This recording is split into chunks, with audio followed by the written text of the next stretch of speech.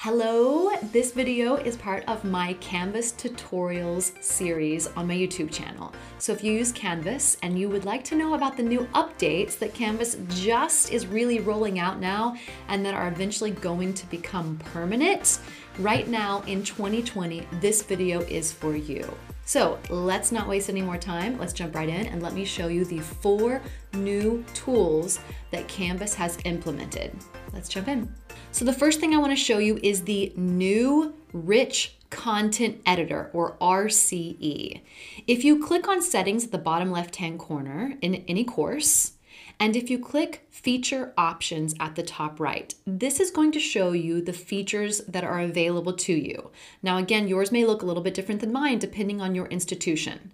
If you scroll down here to the RCE enhancements, you can tick that on by clicking the X.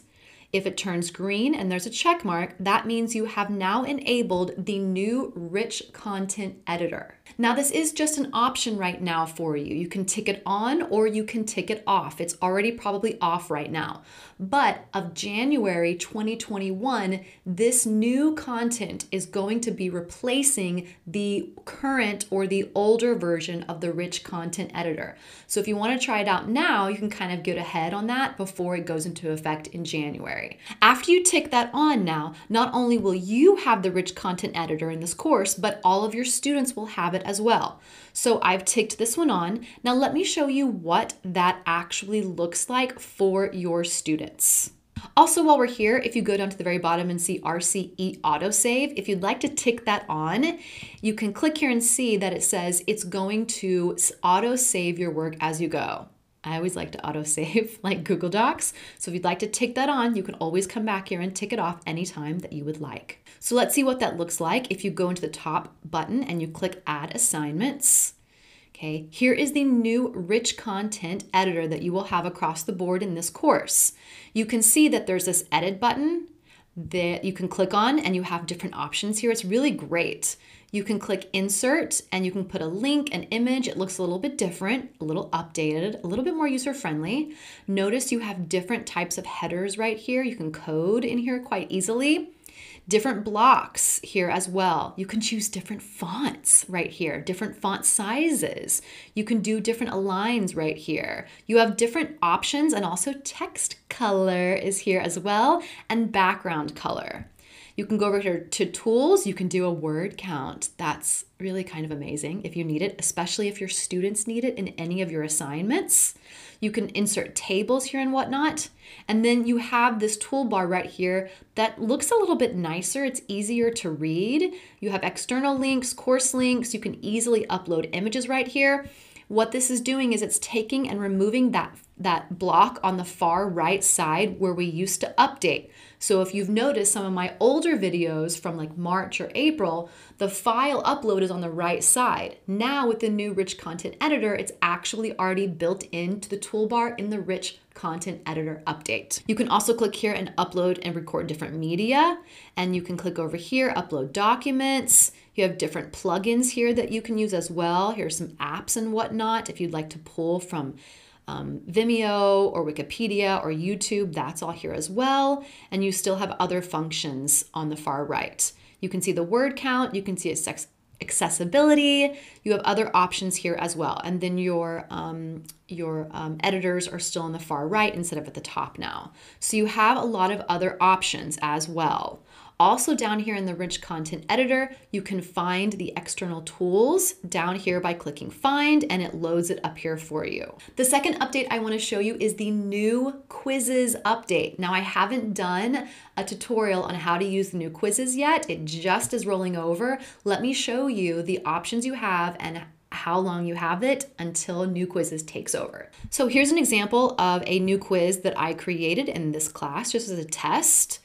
Here is your new quiz. It is very, very different than the old quiz.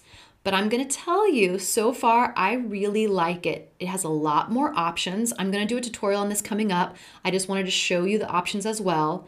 Now, again, to enable this new quiz, I want to show you how to do that if you'd like to. In July of 2021, you are only going to have access to the new quizzes. You will no longer have access to classic quizzes, according to the recent updates from Canvas. So let me show you how to access that function if you'd like to use both right now. So again, go to the course that you would like to try this out in, go down to the bottom of settings. We're gonna go into that feature options again, that tab at the top right. And then here's where you have the new quizzes function. You can tick that on, the check mark will turn green, and that will enable the new quizzes in that course. Now, so far from what I can tell, you do have to go into every single course to do that. So make sure you um, have that option set on all of your courses. So let me show you an example of that again. Here is the example of the quiz of what it looks like, the new updated version. It's in blocks now. It's a little bit easier to read and you have a lot more functions. So let me show you an example over here. After you enable that, you are still going to have access to both the classic quizzes and the new quizzes, so you can try them both out. If you go to the top right after you click click the quizzes tab on the left, click the top right button. For add quiz, you're going to have the option if you want to go back to classic quizzes or if you would like to new choose new quizzes and you can remember that for later. So you will have that option for the time being. So you click new quiz, click submit, and then it will take you into the new quiz feature. I'm gonna do an entire tutorial about all the new quiz functions and updates for you coming up in the future. The third update I wanna show you is new analytics. Now, I did do a tutorial about this a few weeks ago. I will link it down in the description box. It takes you through all of the new updated analytics in Canvas that's been around for just a little bit of time. But if you wanna check that out, go over here on the far right. This is on my home page of a course click on New Analytics. When you click on New Analytics, it is going to pop up and show you all of your analytics here in the updated new version that they have. If you want a full tutorial of the new analytics, I will put it down in the description box below and you can watch that entire video. The fourth update I want to share with you is the new Google Assignments integration, which does replace the Google tool that was there before prior. Let me show you quickly how to do this. So go to the top right hand button in your course that you'd like to add an assignment, click the add assignment button after you fill in this normal information. If you scroll down here to external tools and notice that I am in the old rich content editor in this course,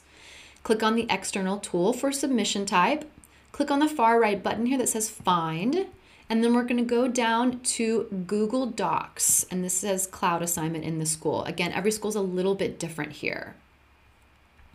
So then you want to scroll down to the assignment you want. Let's say I'm doing this acting template. I want to submit it to them. This is just a, a Google Doc. I'm going to click again, select. It's going to pop it up in here. I could load it in a different tab for the student if I'd like to. I'd fill out all this information. I'd click save.